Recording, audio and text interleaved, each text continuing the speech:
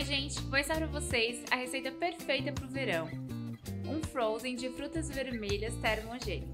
Para essa receita você vai precisar de frutas vermelhas congeladas, aqui eu estou utilizando 200 gramas, um sachê de Hitup e 20 ml de água.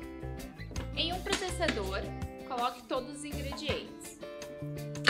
O Hitup ele é um mix de especiarias que age sinergicamente para várias funções do nosso organismo inclusive acelera o nosso metabolismo. A água é bem pouca mesmo, apenas 20 ml, o que equivale a uma colher de sopa.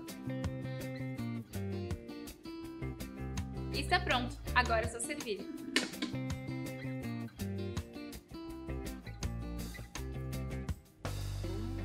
Para mais receitas como essa, se inscreva no nosso canal.